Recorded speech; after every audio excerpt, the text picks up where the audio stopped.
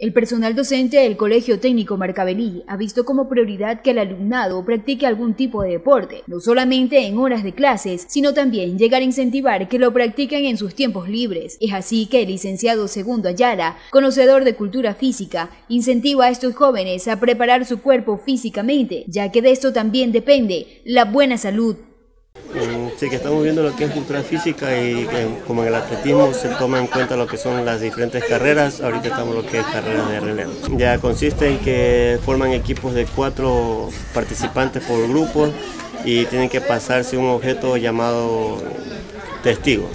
Y el que llega con el testigo más pronto a la meta, ese es el que gana.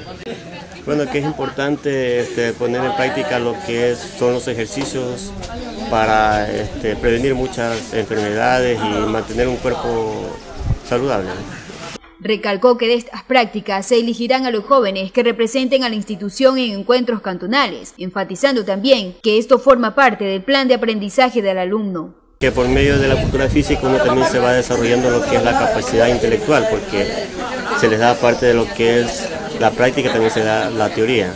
Entonces ellos se sienten motivados en aprender las reglas para poder participar adecuadamente. Es una oportunidad para que ellos también se desestresen y ejerciten sus, sus cualidades físicas.